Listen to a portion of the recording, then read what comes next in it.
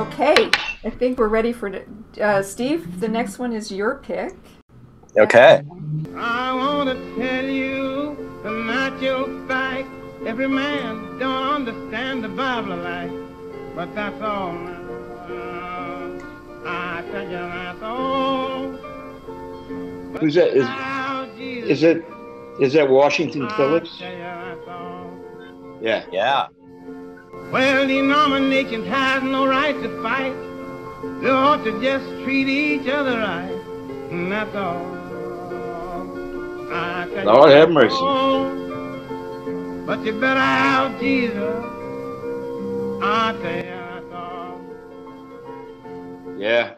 Obscure artist, but made some great some great stuff. You can't get to heaven unless you wash your Wonderful song. I knew I knew Jim knew this artist, and the interesting thing about him is that he he's a street musician from from Louisiana, uh, and he nobody really knows for sure the instrument that he played, and it has like all these chime bell like qualities. We know now what it is, uh, but there was a lot of debate over the up until about 10 years ago about what instrument he's playing um, which makes So his music this is totally from the unique late twenties. The late Yeah, twenties. uh, that's he right. Recorded just for a short period of time. He's born in 1880 in Texas. amazing i originally knew this song through ry cooder who recorded it in the 70s denomination blues and that's all. I tell you, that's all. You better have Jesus, huh? I tell you, that's all. It's great Jim, it's gospel Early- music, which you have a, a strong connection to. You've done a gospel album. Well, you know that in growing up in St. Louis, we had uh, there was two ends of the radio. One end of the radio was you know whatever was pop at the time. I mean, anywhere from Patti Page to Frankie Avalon and all that kind of stuff. And then at the other end of the radio, every Sunday they would play, you know, the live broadcasts from churches around the, around the neighborhood. All around the St. Louis areas, the Haynes Miracle Temple, and places like that, live broadcast.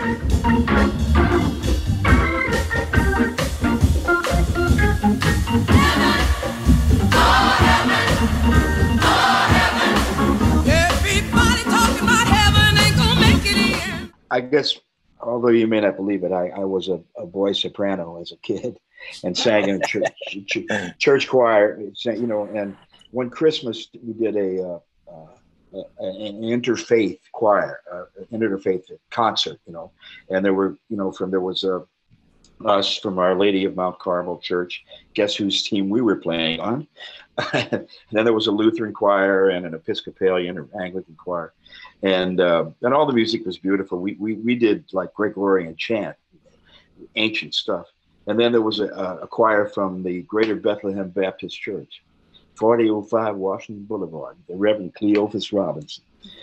And I remember I was like 10 years old, and uh, we came out, and every, it was a great night of music. But my parents said, "What do you think of that?" And I thought, well, all the music was great, but you know, those guys, their God is still alive.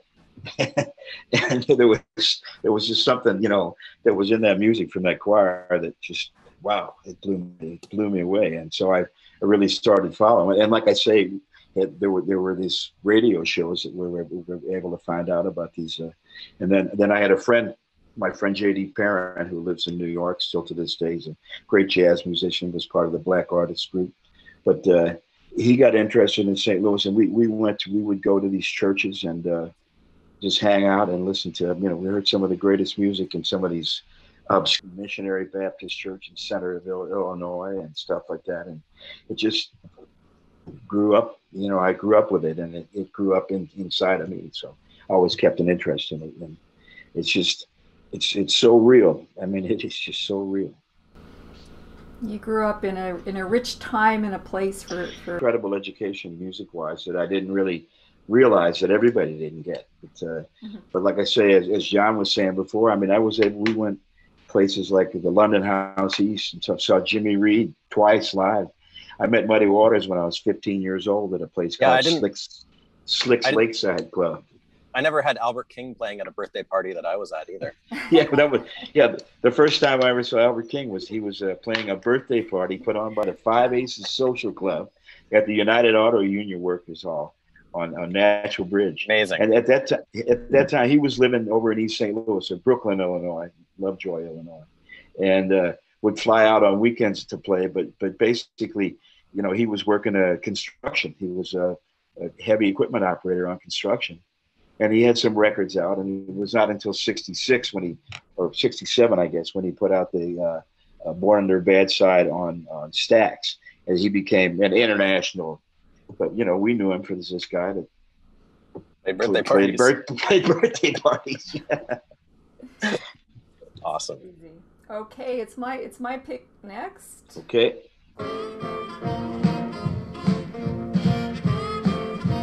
Jimmy Reed.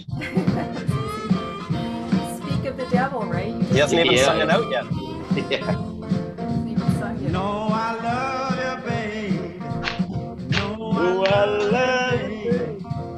No, I love you, babe. But you don't know my name. Let me Yes,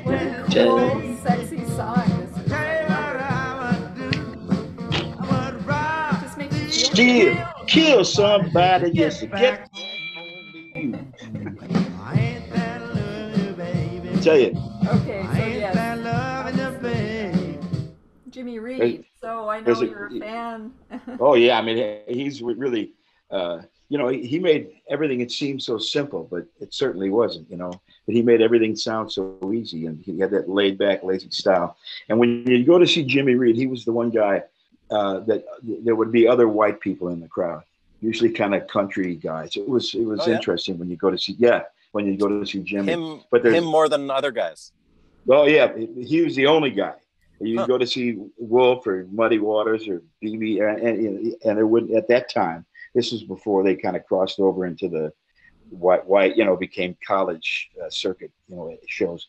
But you'd go to these clubs, but but Jimmy Reed would always attract. There'd always be some other white people there, and generally they were kind of greasers. but uh, Wow, that's funny. Weird. sorry, that song. There was a great record, uh, and it, it's uh, Calvin Carter, who was the head of Vee-Jay Records, talking to Jimmy Reed about some of his songs, and he talks about writing that song. He says, "I was on a tour uh, with uh, LaVern Baker, the Spaniels, and Erskine Hawkins' band was backing everybody. Now we were 72 miles out of New Orleans, and I threw a rod in my car, and I had to walk 13 miles to find a telephone to call Chicago to get some money to get my car fixed. When I got, yeah, so she said, when I got back to the car, this fella that was driving with me, he said, man, you know, I'd rob, steal, or kill somebody to get to where my baby's at. And we wrote that song word for word, sitting on the side of the road. Tell you what I would do. I would rob, steal, kill somebody just to get back home to you. I ain't that. Ah, great insider story. Did, Uh, I couldn't have known that picking this song. But and you can, I think you can find, uh, you know, like everything's on YouTube now, and there's a whole bunch of, you know, he talks about writing Bright Lights, Big City, uh, where he, says, uh, we were sitting at home, and I said, man, uh, you know, the bright lights in the big, and my, my wife said, you mean the lights here in the house? I said, no, the lights in the bright light in the big city.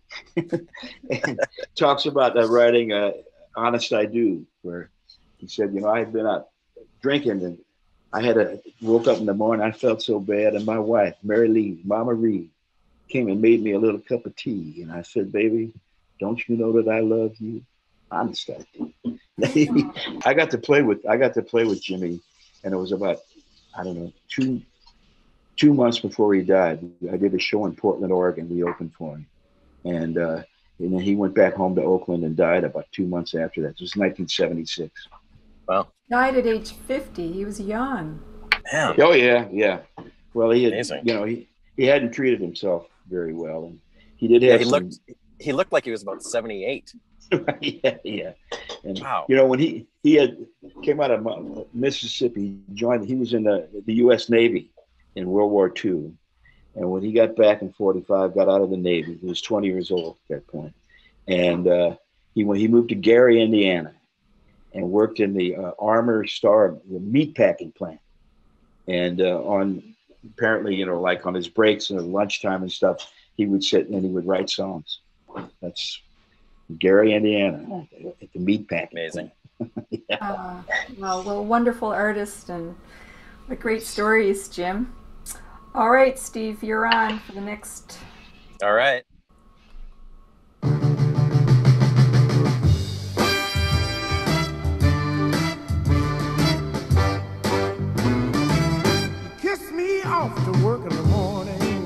Little Milton Campbell. but it doesn't mean that's where I'm going. Little Milton. Little Milton Campbell, yeah. meals are cooked when I return, baby. I want you to know Greenwood, It Mississippi. doesn't mean that's all you've been doing. Cause I could be in the street playing the game, and you could be alone doing the same darn thing. Cause when you cheat on cheating who? No, Uh huh. Little Milton. You know, he he was another guy that he lived he lived in East St. Louis when he made that when he made those records and he played around St. Louis all the time. My friend Oliver Sain kind of was his band leader.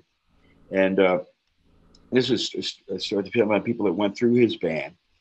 Uh, now, now Milton once again they had, they had Bobbin Records and he recorded a bunch of stuff like in the early '60s, and that's when he had moved up from Mississippi and was living in uh, in St. Louis. A bunch, so many. I mean, Albert King and uh, Ike Turner, all, it had all come up from Mississippi and were living in St. Louis, East St. Louis. But but Milton, Why? Why? Just because of the because of the work there? yeah, yeah, it was yeah, you know, and you know, guys wanted to get out of stayed in Mississippi. What were you going to do? Be a you know, Yeah. Work on the farm, and uh, so yeah, and, and there was a whole, and of course, a lot of them went kept going and in Chicago, became a bigger sitter, and so but but there was there was work and a real scene in St. Louis. But uh, Milton Campbell, now Fontella Bass, you know, played piano in that band for for, for a part, Really? for part of time. Yeah, she Fontella's mother, Martha, sister Martha Bass, was one of the Clara Ward singers, big gospel. Oh, okay. and and uh, so and every year this this, this big uh, traveling carnival would come through the town, the Royal American Shows, and I, you know they had the big uh, midway with uh, all the rides and the phony games, and they had you know the uh, two-headed cows and the you know man the wild man from Borneo and the woman with a beard, you know the bearded lady, all that stuff. And there was also on that a thing called Leon Claxton's Harlem Revue, and um, you can imagine what that was. And so Fontella, when she was like 15, was going to said she was going to run away and, and play and with with, with Car- Carnival playing with Leon Claxton's Harlem Revue. Well, her, her mother went nuts.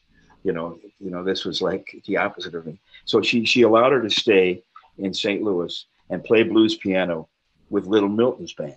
Okay, and she played. Wow. She was playing piano with Little Milton, and uh, then of course somebody didn't show up one time, and she got to singing. And Oliver Sain, who led the band, said, "Man, you got to do something." And they co-wrote uh, uh, "Rescue Me," and he they Wow. took it to Chess Chess Records in Chicago. And she ended up marrying Lester Bowie from you know the the art ensemble in Chicago. Yeah, they, they were she and Lester were married for years. But Lester, she had a that, that broke up and this and the other thing, and then she uh, she had a stroke, and uh, when she kind of came back, she did played nothing but gospel music. And the last time I saw her was uh, at uh, Johnny Johnson's funeral. You know, Jimmy Reed, uh, uh, Chuck Berry's piano. Chuck Berry's player, piano. Yeah, Yeah. yeah. Who, we, who lived in the same apartment building as my parents at the time, and he passed away, and he, and, and she came and played. Uh, she she played a couple of songs at his funeral, and Wow. uh, that was and then then she died the day after Christmas that same year. So anyway, Little Milton. Little Milton got his got the fame that that he was due. Like No, I you know, and I think. I, he he was as great as great a guitar player as BB King, and a, yeah, as great a singer as B and and uh, Bobby Bland. And Bobby never really got the, the same acclaim that, that BB King got. And there's many reasons for it. His management and you know, Little Milton really never broke out of that uh, the, the Chitlin circuit sort of. Chitlin Circuit. He had some Yeah. hits, but but yeah, ne- never Yeah, sustainable. just like didn't- as a Yeah. Exactly. Not, yeah. And so uh, he didn't become, you know, he didn't get on the college circuit and, stuff, you know, those.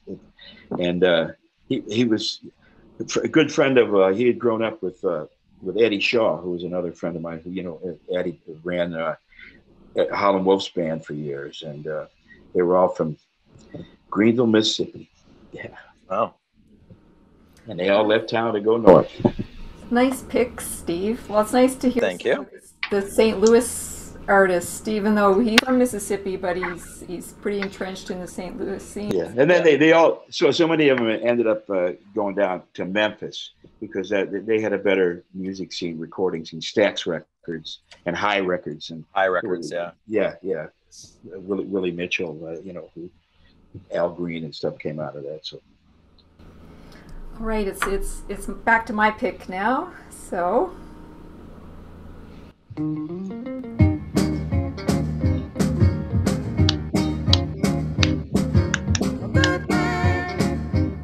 once again, St. Louis, Fontella Bass, Bobby McClure. well, it's funny you started talking about Fontella. I'm like, well, that's the next pick. yeah, yeah.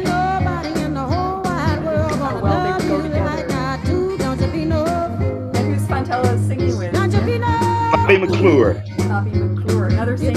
Louis guy. on a fooling Yeah, oh, yeah, yeah. He's just, you know, Gonna mess up a good thing. You're gonna mess up a good thing. Now I might have cheated just a little bit, baby, like all of us do. But when I get my paycheck, baby, I rush right home to you. Don't you be no Nice No. duet. Nice duet. I like don't you be no fool.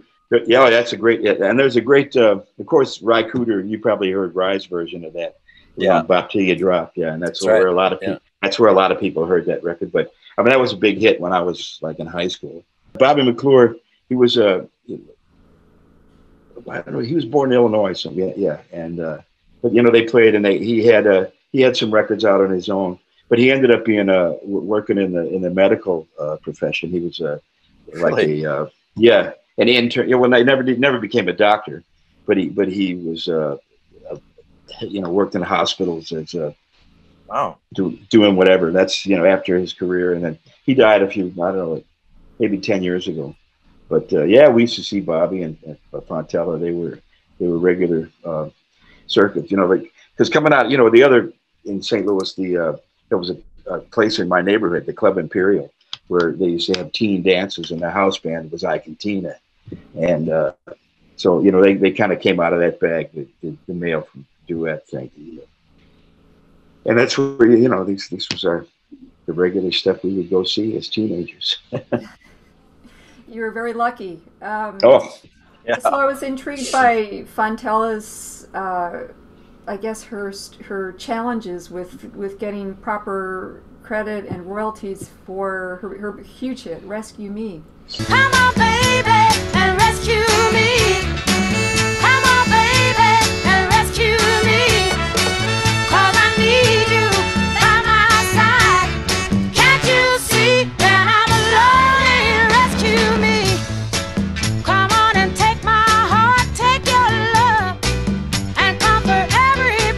Yeah, yeah.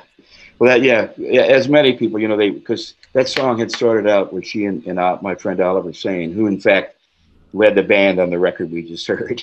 Uh, they, they, yeah, they had gone to Chess Records, and uh, you know they had the huge hit, but uh, somebody put somebody else put their name, as, as often happened uh, when you'd sign these contracts, that somebody else would put their name to get a, a big chunk of the uh, the residuals from these tunes, and you know they they had to go to to court eventually, and I think they got some money out of it. I mean, there's just so many songs like that, uh, Yeah. that where people didn't get to the the Most credit of them. that they- yeah, most of them, you know. Okay, um, Steve, you're up next. All right. Al Green, I There's reckon. Another speak of the devil. He's already Yeah, we already right. talked about Al Green. yeah, yeah. till I get there. Did you see Al when he played the jazz festival a few years back? Till I get there. No, no, but I'll tell you the greatest. Uh, I, I I seen uh, him at a, a couple of uh, you know, these uh, casino gigs. You know, they have the, the theater like River Rock or whatever. And I had seen him, and a couple, you know, and he was all the guy's great. I mean, he's one of the greatest singers ever, and it just is a riot to watch on stage. But uh, in a in a way, some you know, he would come out and do his forty five minutes and and sing parts of all of his hits and do a little bit. But then this is, you know, every year I, I would go back to St. Louis uh, to uh, to co-host the Variety Club uh, charity for ch- children's charity, and and every year they would bring in a big. Uh, well, it started out as a telethon, but then it turned into a night of stars, and they would bring in a big act, uh, and it would be at the, the the Chase, the big hotel in St. Louis. And they and one of the years they brought Al Green. Now, as far as he got up, and you know the whole crowd of these kind of uh, white millionaires with tuxedos and stuff on, and they were kind of, oh yeah, the hit records. But all the staff at the hotel, the people, the, the bus boys and the waiters and things were Al's people. You dig what I'm saying? and, and man, he put on a show, and it was for this. It was for the waiters and the bus people and stuff. You know, he could the the, the other they, they didn't know what they were getting. You know, at one point he says, "Y'all forget that I, I could do this." He whipped his coat off and started just. It was it was the greatest ever seen. You know, and, uh, now you could go. You know, he had his church down there in Memphis, uh, uh, the Four Square Gospel Church, and you never knew if he, he was actually going to be there or not. And these these uh, you know, you could go and kind of get burned because he wouldn't be there. You know, and you had to wear a suit and tie, and they would go on for three hours. And we went, want to I, went. I saw him. I saw him there a couple times. Yeah, yeah, yeah, yeah. Yeah, I went to his church. Yeah. Yeah, yeah, I've been to his church too. But uh, but I'll tell you, the, the greatest I ever saw him was that show, was that charity event uh, at the Chase Hotel in St. Louis when he put on a show for the the bus boys and the waiters. it was uh, it was really something. I mean, what a what a singer and what a character. I mean, it's just, you know, there's a there's a great film, uh, the Gospel according to Al Green. It's a a, a documentary film. So she asked me if I would marry her. I says, Oh no, I don't think I'm ready to get married. I just been in this two or three years. She came back up, I seen this whole pot of water, and all of a sudden, I'm full of it. I've got these big boils on my skin, and like, man, I'm telling you, I'm in total pain. I can't believe the pain. All of a sudden, you hear, here this lady is lying in the floor. Here this pistol is in her hand. I'm saying, oh my God, what in the world? Call the police. told me, told me these trials would come. So I decided to let my God's will be done.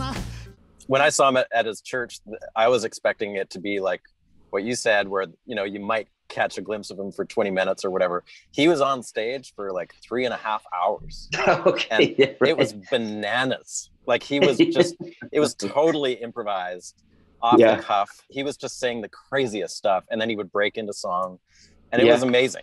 I've never seen anything like it. And then he was like every single person he met, every single you know tourist that came into his church because he wants money, right? Like he Okay, wants yeah, to raise he- cash. Ex- So exactly. he yeah. would he would sort of guilt trip everybody into oh you're just giving yeah. 20 bucks come on Right, yeah. like you know yeah, yeah I yeah, I can I It was can hear him amazing. doing it. Yeah. Steve from Vancouver, what do you got for me? 20 bucks. Yeah. Uh, Yeah. well, all, all really good picks. Um, I asked Steve to pick three tunes. I picked three tunes, but then I said, let's have a bonus tune because it's, it's really hard to fool you, Jim, with this blindfold. You can't stump you can't stump Jim Byrnes. I'll tell you that right Well. now. So I want I want to play my bonus track, and Steve will pay, Oh. play your bonus track because Okay. All right. I don't know. I'm having fun. I hope you guys are too. okay, here's my pick. Tramp. What you call Oh, come on. Uh, Otis Redding and Carla Thomas. That's right. I love this song. Yeah, yeah. Great album. Great album. Yes, yeah. I saw Otis twice live.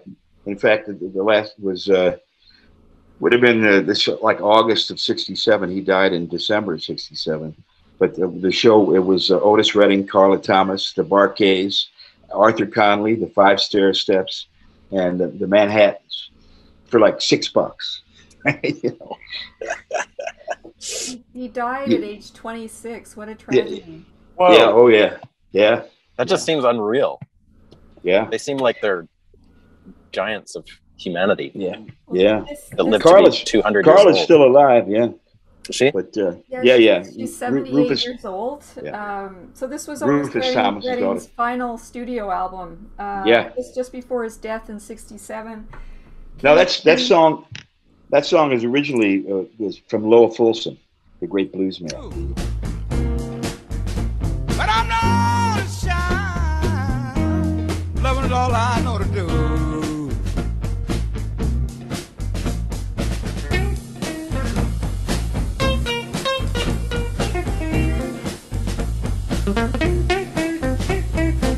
So fun. Okay, Steve, you get the final pick. Jim, it's being All right. too easy for you, I think. we'll have to have a, another match, another round two or something. Yeah, Make it harder. I'm sure. He, Okay. Step right up, come on in. If you'd like to take the grand George Jones. of the lonely Oh yeah. One left turn there. God, can this guy sing? Beautiful voice. I have nothing here to sell you, just some things that I will tell. Oh, beautiful song. Oh And- God, what is what a singer? I, I moved to know you Nashville on the day on the day of his. Uh, I moved to Nashville on the day of his funeral. It was a Is that right? mourning. Oh my, Yeah, oh my God, 2013. Yeah. oh my God. That had a, you know, because George, I mean, no, that guy, what is what a singer. I mean, he just and uh, he, he could do it, man. He'd tear your heart out. Yeah. Yeah, it's just you know, I I loved that man. Everything he did. Did you ever You know get to what's see fun- him? I, I did. I saw a show uh, with, uh, and the other Conway Twitty was the other guy on the show. I mean, two. Kid. I mean, you talk about some too. great, talk about some great singing, man. You know, the, the people go on about country music, but all the, you know, Howlin' Wolf, you know, he's doing his ah thing. He started out trying to imitate Jimmie Rodgers.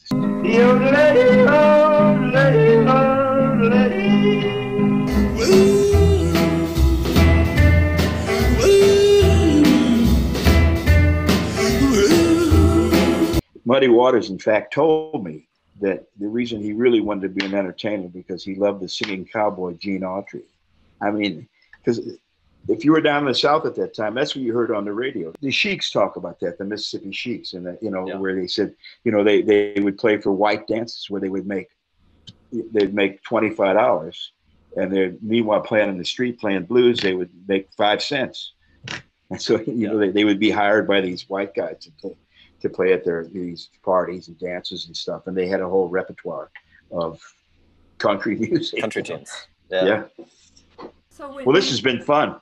Oh wow! I know. He he nailed. Uh, He's in a good mood now because he got hundred percent. got hundred percent. Well, listen, I'll let you get back on the road, man. Yes. All right. Thanks. Thanks for taking a little pit stop with us. Yeah.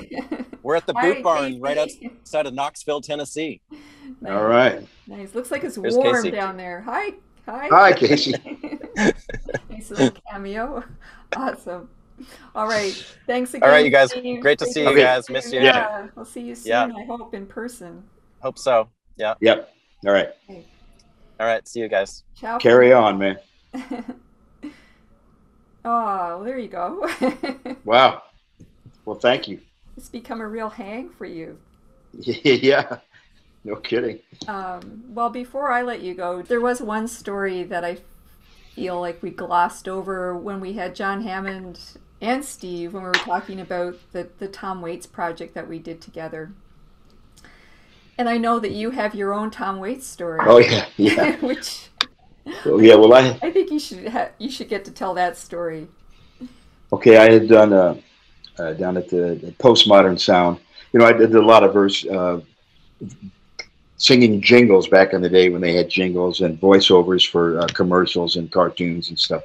So I got a call to, to go down to postmodern, and it was a uh, a commercial for uh, Doritos uh, chips, you know, and it was based on uh, uh, Tom Waits' tune "Step Right Up." Heard it advertised. Don't hesitate. Don't be caught with your drawers down. Don't be caught with your drawers down. You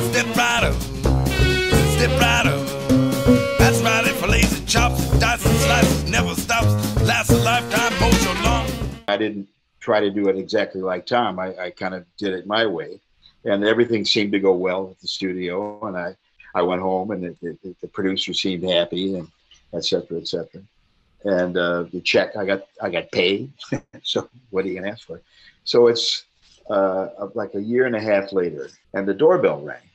Thought, oh man, forget what is this Jehovah's Witnesses or whatever. But I was able to look out the window, and there was standing on our doorstep there in in uh, Marpole was a, a fellow I didn't know, and Tom Waits.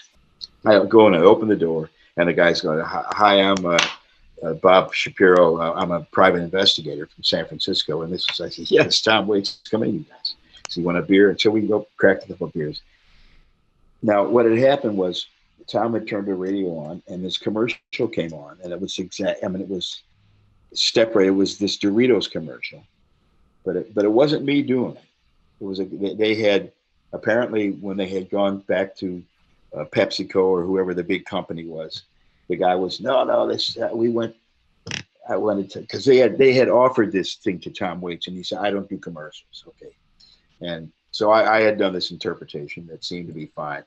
But the big cheese at whatever company said, no, this is no good. I, I wanted Tom Waits. So they went out and got this guy, Stephen Carter, who does a Tom Waits tribute act. He's from Austin, Texas. And they had made this commercial. And Tom was livid, you know, because they, they had appropriated his his persona for to sell chips. And uh, so anyway, there were going to be, uh, we went, and I went down, there, we had a big interview went to Los Angeles, and uh, I testified in, in federal court, third district, Los Angeles federal court, uh, about how about this session and uh, how they tried to steer me in the way of because their defense was, oh, it just uh, you know, there's a lot of people with you know gravelly voices, and it just so happens that it, it turned out this way. And so they played a bunch of things that I had done where I sort of imitated Otis Redding on a commercial, where I imitated. Uh, you know, we talked about the gravelly voice. And upshot of the whole thing was that they the, jury found in favor of Tom, and the he was awarded like two point three million dollars or something, which I'm sure a million dollars of it probably went to Howard King, the lawyer. but anyway, it was a big a big settlement, and uh, and then a month or so later, I, I get a little package in the mail, and it was a uh, a Marine Band harmonica case, and and I opened it up, and it was a it was like a gravity knife, uh, you know, a, a gang just grab, and uh, and a, a hand and a handwritten note from uh, from Tom saying, uh, "Dear Jim, thanks for helping me cut through the bill. Your pal Tom." Oh, what a great story! Well, what if you would have been gotten quite a surprise seeing Tom Waits at your front door? oh yeah, that was, I mean, it was I just love that image of mind mind-boggling. Yeah, Sunday afternoon up at uh, on French 64th and French Street in Marpole. yeah, Wow. not who you'd expect to see. Yeah. Well, Jim, you've been game to do so many of these collaborative shows with with Steve from Mississippi Sheiks uh, to the Clash to David Yeah. Bowie, the Rolling Stones, Tom Waits. Uh, I love that you did the Clash with us because you know I don't think you were a big Clash fan in the day. Eh, Not so much, but you know, they music is music, and uh, you know, there's good music and there's bad music, and you, you find something good everywhere. And, uh, it was interesting. I mean, you know, like the Clash thing, where where they had done that. Uh, I fought the law, right? You know, which which had been a big hit for Bobby Fuller for, but it was written by uh, what's his name, Sonny. Uh, but he's the same guy that wrote the theme to the Mary Tyler Moore show. Oh, really? Wow! There's the Clash using it very subversively. Yeah. I needed money cause I had none. I fought the law and the law won. I fought the law and the Anyway, yeah, music is uh, it's life. Music is life. it's, well, I listen to music every day. I don't. I can't imagine a day without it. Yeah, neither can I. Are you playing a lot, Jim? Well, you know, I, I, I, you know, everybody says, "Oh, it's a great chance to, you know, do, do chops and stuff." Some days I look at my guitar. That's a nice guitar. Some days, I, you know, I, I have picked it up and played. And like I say, we've had the opportunity uh, to do some shows. How do you feel about doing live streams when you don't have a real audience? Uh, well, you know, I I worked as an actor. I, I can imagine, you know. So I mean, I, I, know I. I, I know how to work as a you know the camera. That's there's an audience there. I just pretend like you know there's the audience right there. So I mean we we we've done uh, these broadcasts we did from from Blue Frog and a couple other places where I had people in Ukraine, Germany, Ireland, Australia, all tuned in. So you know I got this world audience as opposed to you know a handful of Vancouverites. So that's kind of cool too. Great. Well, it's it's been wonderful to see you and and Good to see you too, and, but- and thanks so much. I mean, getting John Hammond and Steve, and you know, having a little tete-a-tete here this afternoon was fantastic. Thank you. I uh, can't Oh, thank you enough. My pleasure. It meant a lot to me. Much love. You betcha. You All right. and- Thank you. See you. Bye. Bye. Uh, but so anyway, but but this song with this wacky tune, these big crazy lyrics that I loved so much when I was a kid. In um, one moment of time in February of 1972, the, the lyrics took on a deep and profound meaning for me. This is a song called "My Walking Stick," and it goes like.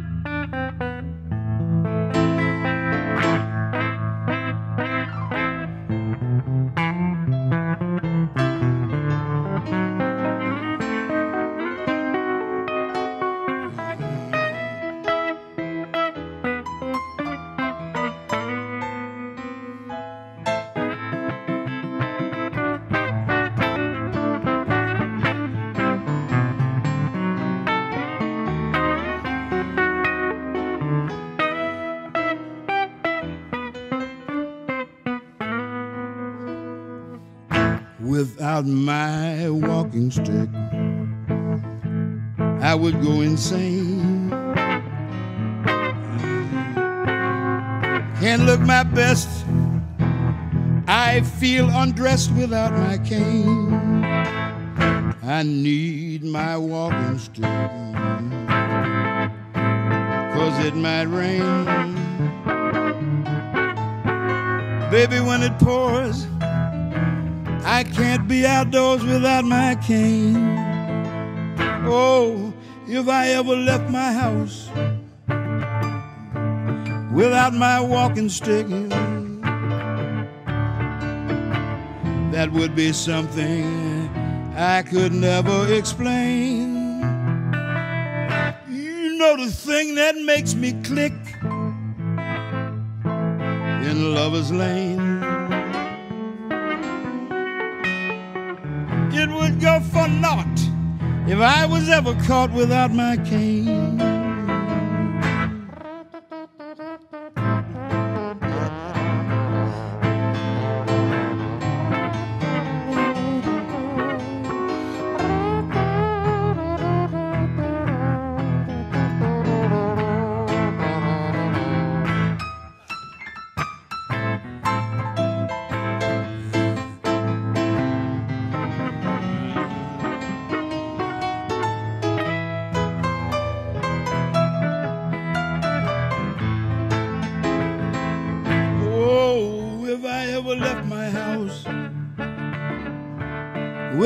Walking stick,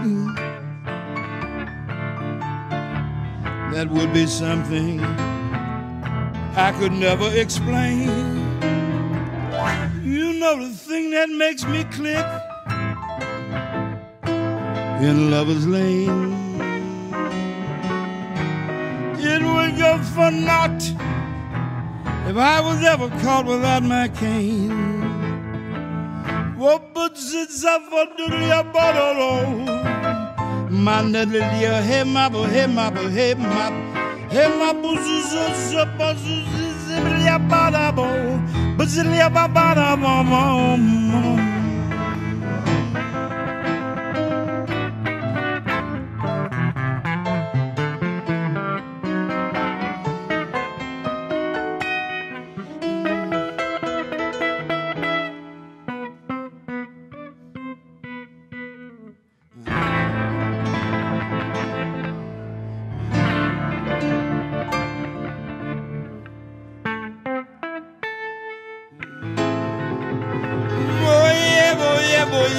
my boy, hey, my boy, hey, my